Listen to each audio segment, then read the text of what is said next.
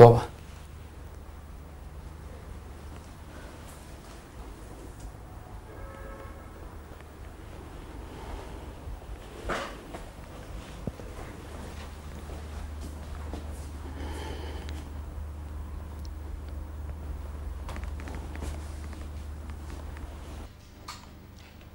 恕我直言，王彪作为警方卧底的可能性并不大，而且，如果他真是卧底的话，也是在绝密情况下进行的，我不便过多的问。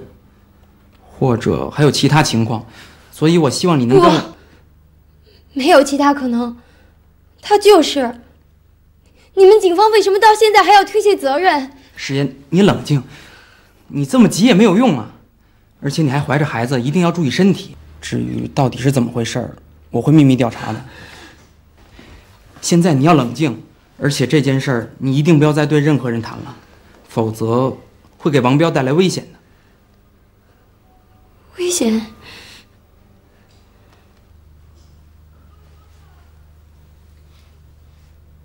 死人也会有危险？你听谁说的？不是你说的吗？王彪是不是已经死了？我也不知道，我和你一样着急。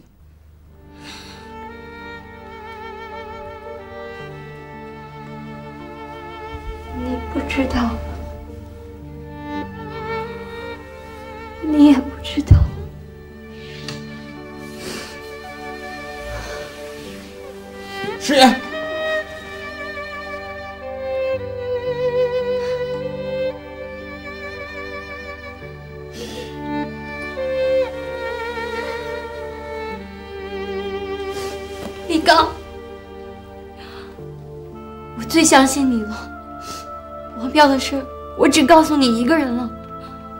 我求求你，你帮帮我，你帮我尽快找出我丈夫的下落。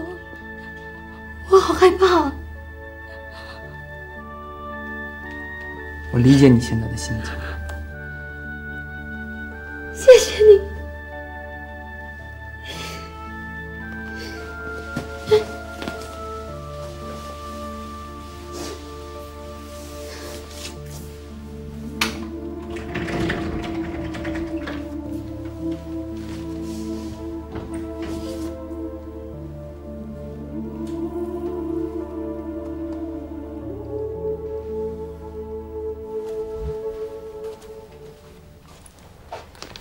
汤总，哎，怎么了，小梦？昨晚没睡好啊？今晚跟我一块吃饭吧。我不想去。我还想跟你谈点事儿呢。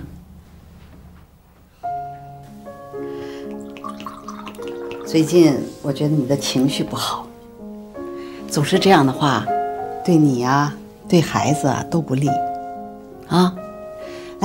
随便吃一点，也不知道要的菜符不符合你的口味。这段时间啊，你就不用来上班了。嗯，你的工作呢，暂时我找人给你替一下。你放心，位置给你留着。最近一段时间，我准备到国外去谈点生意，如果你愿意的话，跟我一块去散散心，啊？来 来来。红葡萄酒对人身体有好处，喝一点没关系。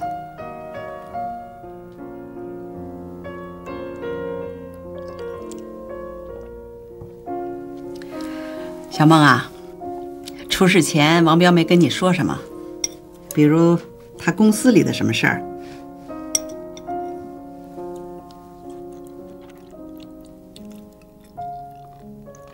哎，真是知人知面不知心呐。想开点男人嘛，特别是有这种案底的男人，最不让我们女人放心。出事儿是迟早的事儿。汤总，您可能不太了解他，我丈夫不是这样的人。是吗？那就好，也不管他是不是这种人。我的意思呢，我一定对你负责到底。等到孩子将来出生了。不论男孩还是女孩，交给我抚养。我早都想好了，等我退了休啊，我谁也不跟着过，我就带着你们娘俩过。你没发现，其实我很喜欢你呀。汤总，谢谢您的好意。不过我相信，我丈夫一定会回来那就好，那就好。我是真想帮你啊。你还年轻，今后的路还长着呢。来，咱们公司在国外啊有一些业务，如果你愿意的话呢，可以到那儿去。到哪个国家随便你挑，换个环境，对你精神有好处。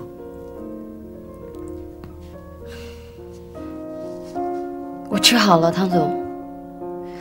如果没有什么别的事儿，我先回去了。再吃一点吧。不了。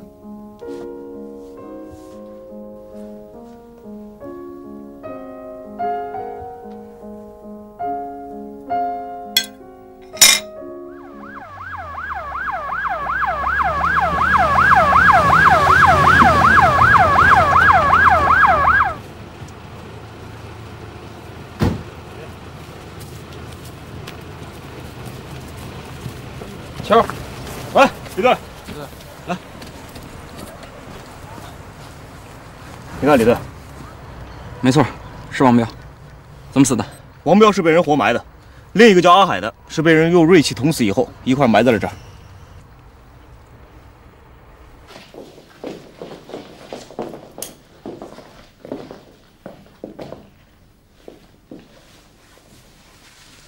你看一下，这是王彪吗？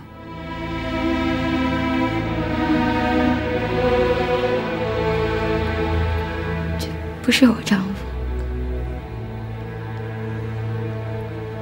孟师爷，你冷静一点，再仔细看看。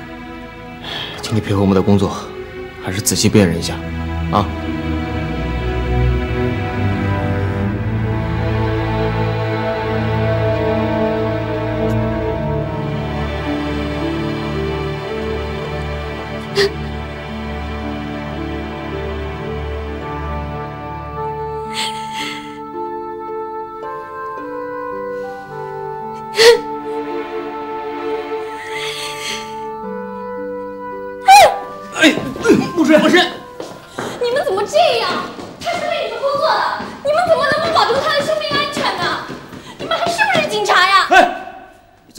话呢？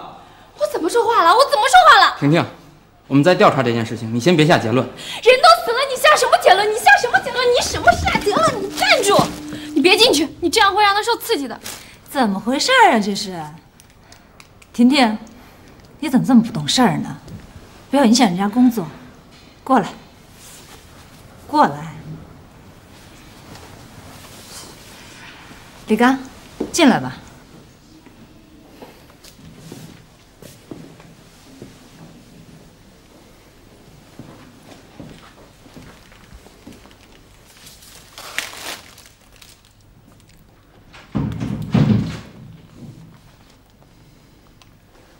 师爷，现在我们在调查这个案子。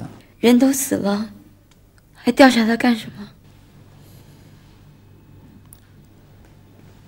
我知道这个时候不该来打扰你，但我想你也希望尽快的知道真相，请你配合我们工作。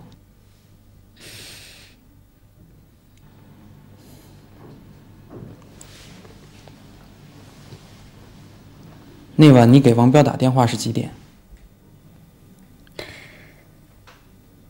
我打了很多次，可他一直都是关着机，一直到我晚上回家，还是没有联络上。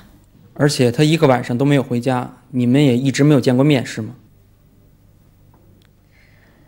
王彪知道你把那只红豆手镯放到什么位置了吗？请告诉我好吗？镯子是在王彪那儿。可我不知道为什么，后来出现在金方明的办公室。哦，对了，我还有一个问题：金方明案发前是汤永静叫你在办公室打印文件的，是吗？对。奇怪，我越是想把焦点往汤永静身上聚，却总是划开，把我的注意力又引到别的地方。这刚有一点眉目，金方明就又死了。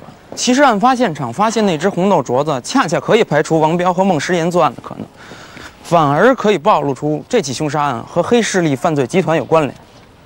而且，这个金方明和墨菲的死也绝非偶然。汤总换车了，不过好像没有以前那辆豪华呀。乔，你马上调查一下汤永静以前开的那辆车的情况。你是说，墨菲的死与汤永静有关？这是一个突破口。我一直纳闷，莫非到底在这里充当一个什么角色？他很可能是汤永静的人，你快去查一下。是。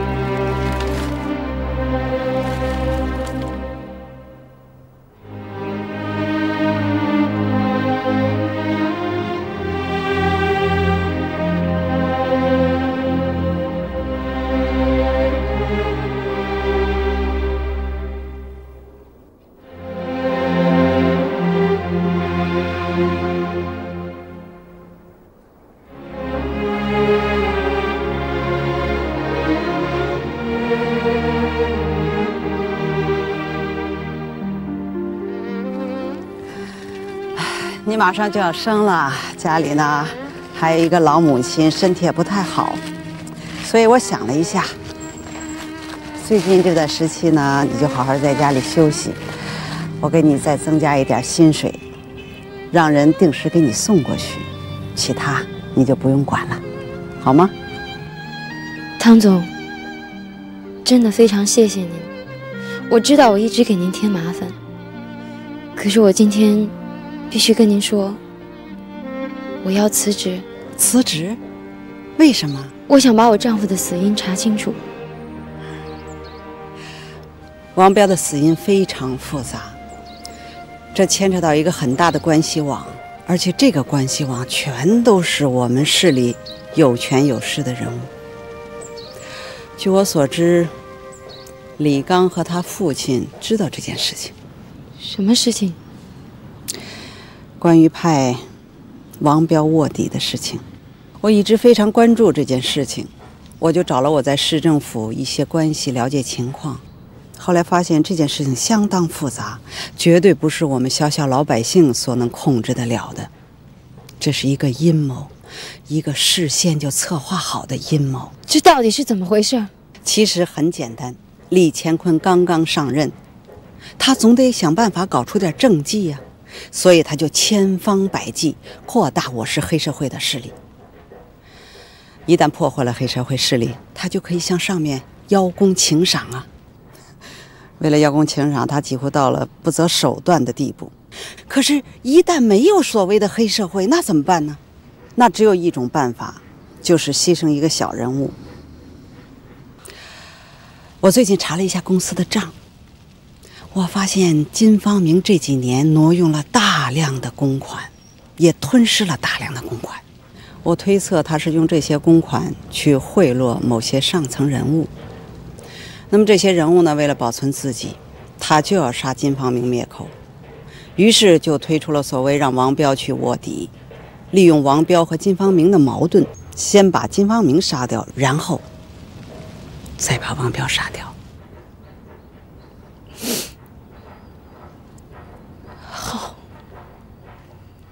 那我就更要为我丈夫讨回公道。哎呀，小梦啊，你一个弱女子，如果你再被牵扯进去，那将是很危险的事情。就算死，我也要还我丈夫一个清白。汤总，谢谢您，我先走了。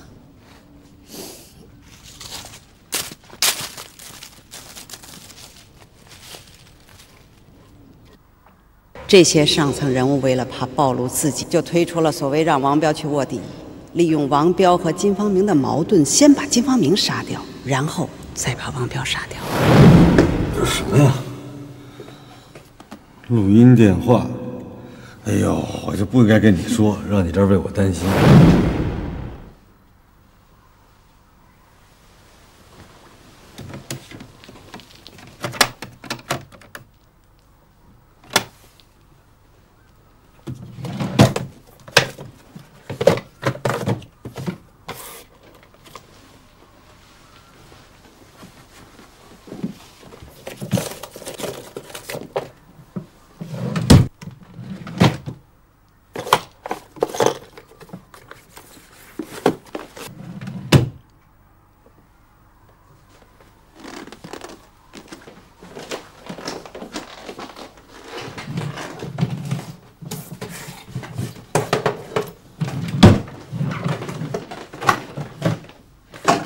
燕儿，你找的是这个吗？王彪走的时候交给我的，我怕你见着心里难受，就一直藏着它。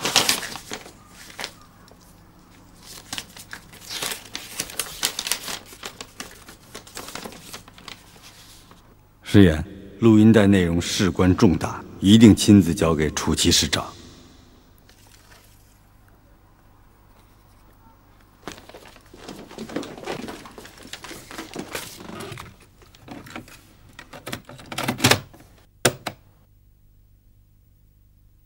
你不是想救你妻子吗？那就再完成最后一项任务。为防止匪首姚书贵组织大规模的杀戮活动，减少我方行动的伤亡，立刻干掉他。我们会视作你在暴露时的正当防卫，这样我们就有充分的理由认定姚书贵为灭口而杀了金方明，你妻子就完全可以脱罪了，懂吗？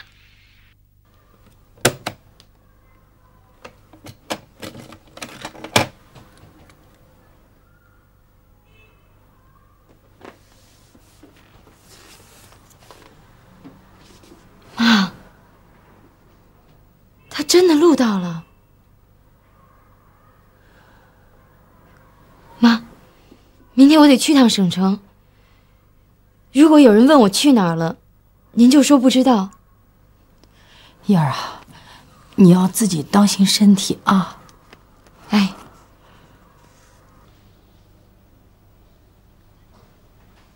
情况就是这样的。王彪临走前给我留了话，他说让我把这个东西亲手交给您。这就是那盘录音带。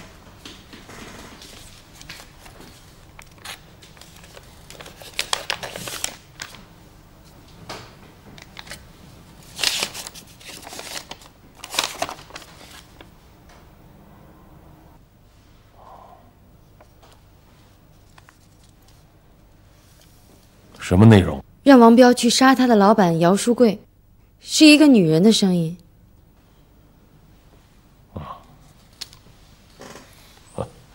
你提供了一个很重要的情况，我会让有关部门进行调查。感谢你跟王彪对我的信任。嗯这件事还有谁知道啊？我只对李刚说了。啊李刚也知道这盘录音带。我只对他说，王彪是警方卧底。哦他怎么说呀？他说王彪不可能是卧底，可这盘录音带明明证明王彪是卧底。我不明白，他为什么不承认？卧底是绝密行动，不会有太多的人知道，甚至可能只有一两个人知道，因为多一个人知道，那就多一份危险。那就去查查那个女人，她一定清楚。而且这盘录音带也证明金方明不是王彪杀的，王彪要去对付的是他的老板姚书贵，这些都是很重要的线索。嗯看来这个事情比较复杂呀，蒙世炎同志，这件事就不要再往外扩散了，不要向任何人透露，包括你认为的最可靠、最亲密的人。搞不好啊，打草惊蛇，那是要引来杀身之祸的。尤其是不要再对李刚说什么。为什么？我现在只能这样告诉你：从现在起，不要再轻信任何人。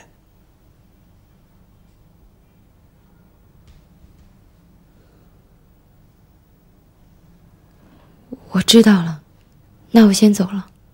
嗯。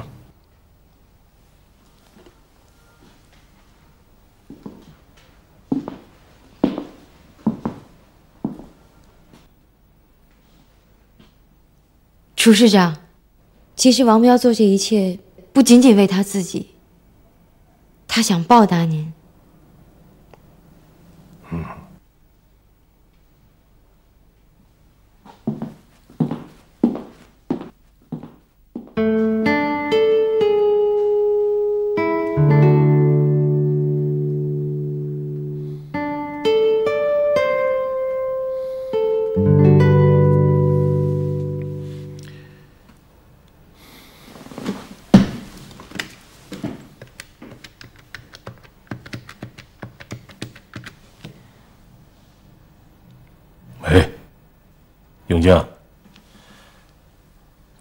杀令已经被人录了音，送到我这里了。知道了。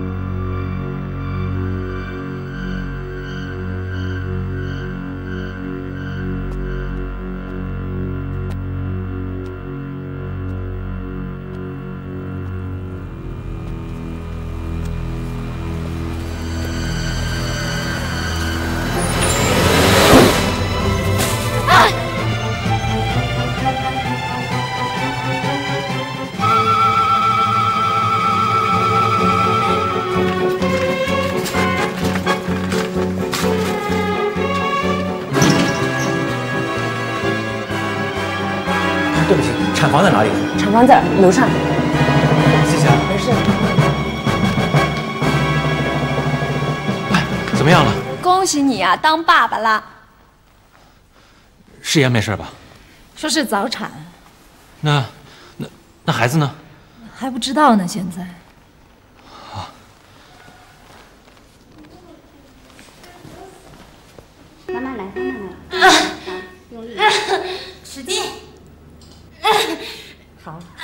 非常好，使劲，好，非常好，再来。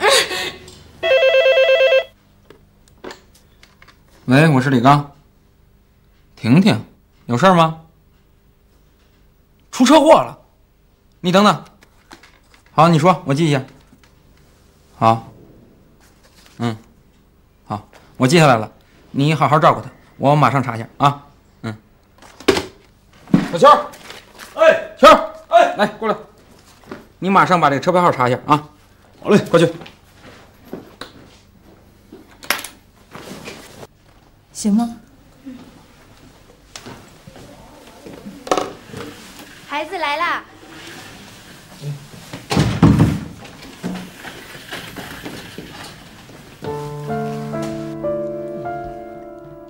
嗯，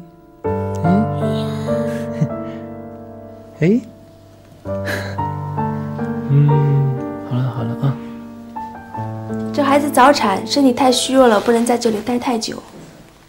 哦，那就先推回去吧。慢点，慢点啊。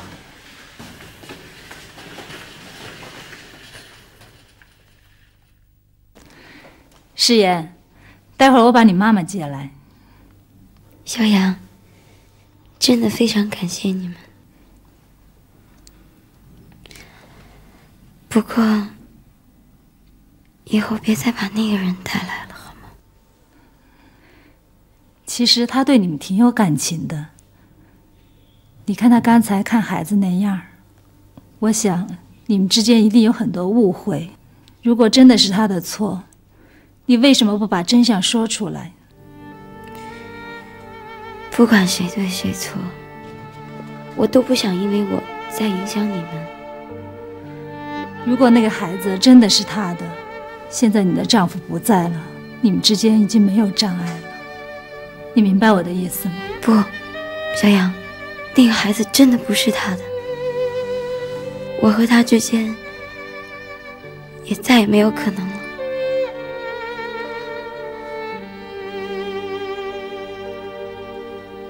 我想那孩子一定是你的，只是因为我们的关系，他不肯承认罢了。现在事情发展到这样，我真的没有办法想象将来会怎么样。还是一切顺其自然吧。小雅，我楚斌，我知道你有点放心不下，你进去照顾他吧。出了这种事儿，我觉得真的很对不起你。但是如果那个孩子是我的，那我就必须要负责。跟你认识这么久了，我真的感觉到，别说了，我知道你的心里很矛盾。其实我的心情和你是一样的。这一切真的太戏剧化了。一个跟阿坤长得那么像的人，忽然出现在我的生活中，像被一种无形的力量推着。两个也许本来不应该走到一起的人，现在却走到了一起。现在你过去的女朋友和你们的孩子，忽然出现在我的生活中。我从来没有想过，我的男朋友会是别人孩子的父亲。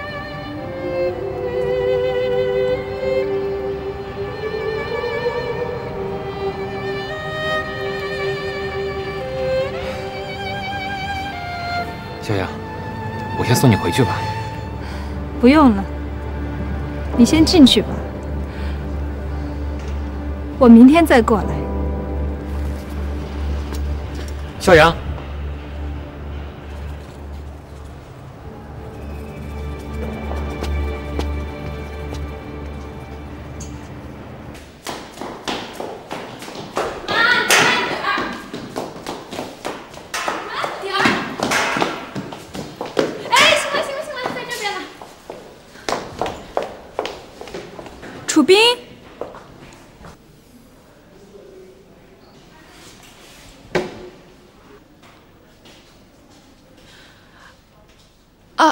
快进去吧。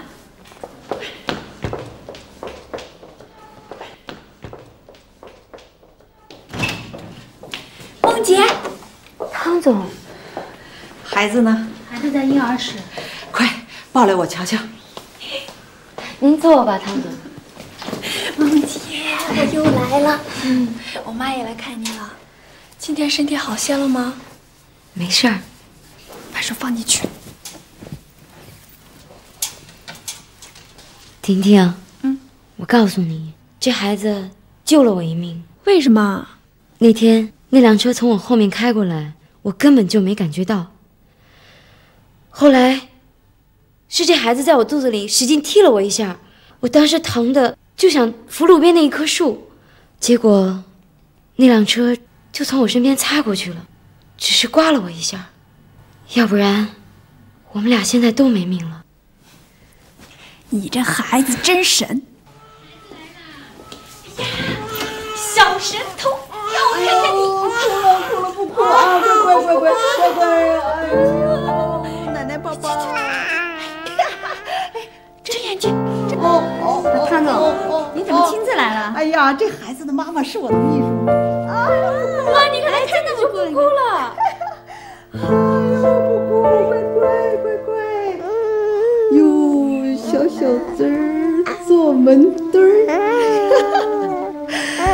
小梦啊，从今天开始，我要对这个孩子，还有你，还有你的母亲，就像自己家里人一样。有孙子了，我有孙子了哦！婷婷，你看，妈妈有孙子了。梦姐，我妈要认你做女儿，以后你就是我姐姐了。孩子该休息了，我送她去吧。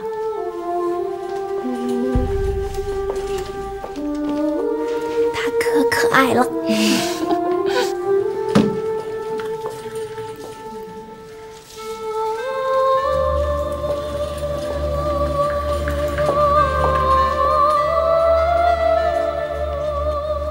小梦，小心休息，别着凉了。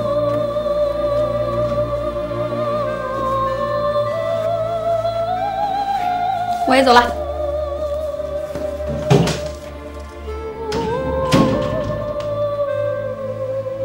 誓言，我知道，这个孩子一定是我们俩的。不管以后怎么样，既然我是孩子的父亲，我就应该为孩子负责。所以我想，我我们不会再有什么了。肖阳对你很好，你不应该再伤害另外一个女人的感情。我跟肖阳谈过了，他能够理解我们。不管怎么说，以后应该由我来照顾你们母子俩。你怎么还不明白啊？我心里已经没有你了，这个孩子跟你没有任何关系。不，师爷，当我看到孩子第一眼的时候，我就知道他肯定是我的儿子。不，他不是你的孩子，我以后也不想再见到你。你走吧，走啊！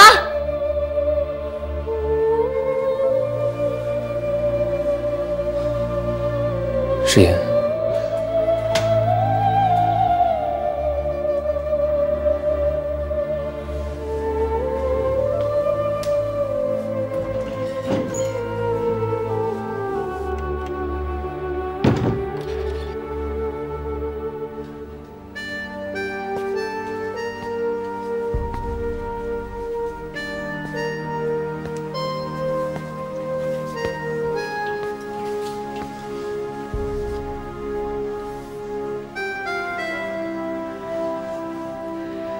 听着，这个孩子不是你的。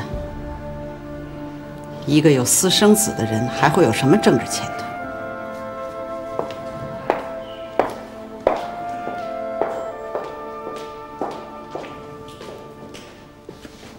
李队，我们查清了，那辆肇事逃逸车的车牌是假的，真正的车主案发时人在广州。谋杀，这又是一起谋杀。你立刻安排人对孟诗言的病房进行二十四小时的监控。是，李队，接到你的通知，我马上赶到了。现在情况怎么样？按照你的吩咐，严格控制外人进出病房。走。李队。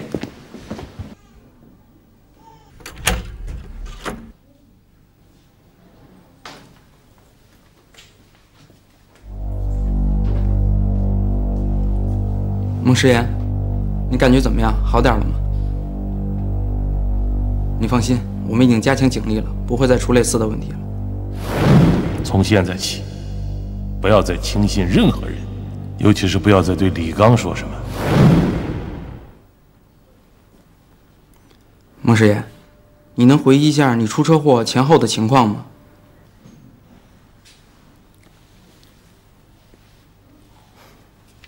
护士长吗？哦，汤总啊，你好，你好。对，已经有警察在病房门口值班了。出什么事儿了？还有两个警员一直在盘问他，好像是在做笔录。对，对，好的，我现在就去告诉他们。我什么都不知道，你们不要再问我了。没事。喂，病人现在还没有完全脱离危险，你们不能这样对他。护士长，我们在向这个病人了解重要情况。不行，我们是要对病人负责任的，请你们出去。哎，护士长，不行不行，请你们出去。好好好，请你们出去，请你们出去。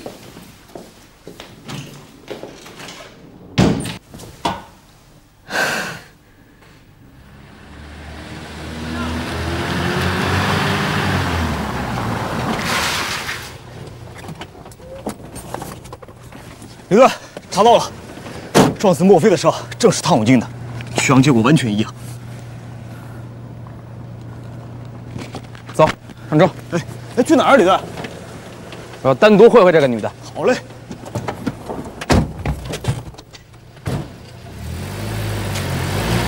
汤总，请您签字。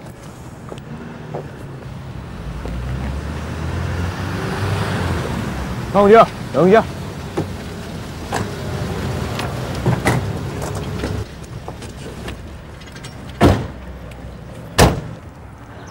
李队长，有什么事儿吗？对不起，有几个问题想向你了解一下。啊那很抱歉，我今天有个约会，咱们改天吧。那就把约会推迟吧，这是公务，而且牵扯到两起谋杀案，请配合。谋杀案？跟我有什么关系啊？请问，二十一号下午四点至五点之间，也就是孟诗言被撞住院那天，你在哪里？你们是不是怀疑我撞了孟诗言呢？我为什么要撞他呀？请回答我的问题。公司的事儿那么多，我哪记得那天下午在干什么呀？你在东江公司有那么重要的职务，你的出行安排，秘书那里不会没有记录吧？请您再好好想想。在公司，在公司。什么时候离开的？五点钟左右吧。有证人吗？有啊。门卫、保安，我这个车进进出出，他们都有记录。好吧，谢谢。第二个问题，经查，撞死莫非的那辆车是贵公司的，而且就是您的，您作何解释？是我的那辆车撞的呀？哟，这什么时候发生的事儿啊？本月十一号，事发后的第三天，我们曾经见过一面，那时您换了现在这辆车。我那个司机把车开出去了，回来跟我说车被人撞了，拿去修了。那没办法，我得用车呀，就赶快换了一辆。司机姓名叫张发，他不在，去了哪里？什么时候回来？到东北出差去了，大概得十天以后吧。那请把他的联系方式给我。我没带。好吧，请你尽快跟他联系上，我们等你消息。好。第三。金方明死的那晚是你安排孟时言在公司加班的，对吗？对呀。而且当晚你和金方明一起陪客人吃的饭。是。金方明喝了那么多酒来公司干什么？那我怎么知道啊？吃完饭我们一出门就分手了。这中间是不是有太多的巧合了？生活中本来巧合的事情就很多，我们不是已经很习惯了吗？我怀疑这一切都是你的精心安排呀。李队长，你是执法人员，说话可得有根据。在没有证据的情况 下，你可不能乱说啊！我只是怀疑，不过你放心，我一定会找到证据。要是没有什么别的事儿，我就先走了。以后，以后在证据不足的情况下，别来缠我，我忙着呢。请在这里签字。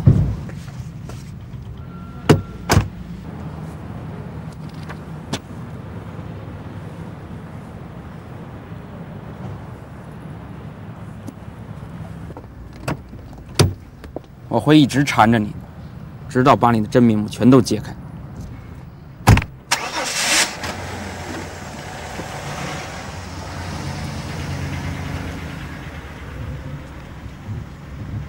李队，这女人太嚣张，我看她还能嚣张多久？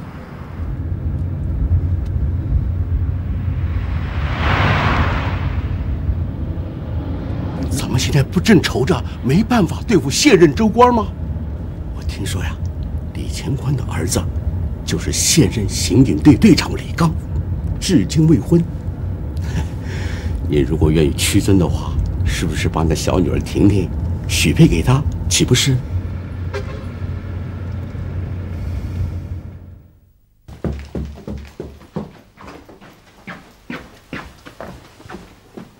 妈，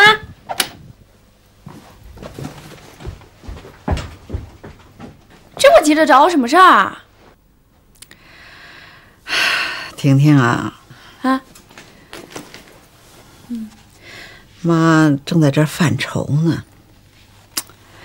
你看这么多年，我和你爸爸挣下的这个家产，哎呀，好好好，那不说这个，说点你爱听的。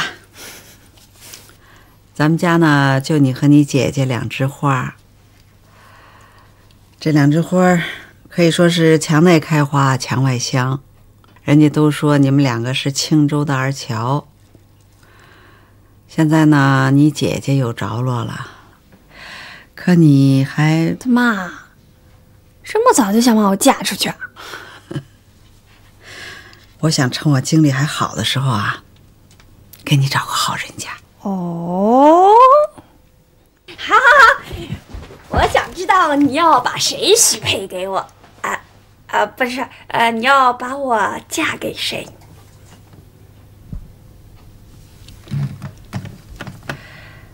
你觉得市委书记李乾坤的儿子，就是那个刑警队长李刚怎么样？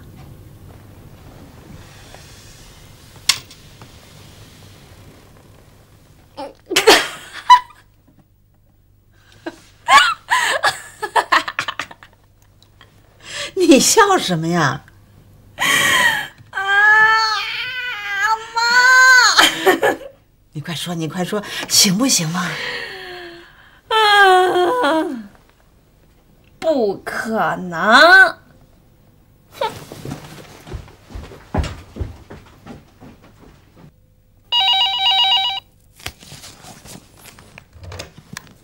！Hello，楚斌吗？我是婷婷。怎么是你啊？找我有什么事儿吗？我没事就不能找你了。可以可以，我很愿意接听你的电话。嗯、你姐姐回来了吗？没有呢。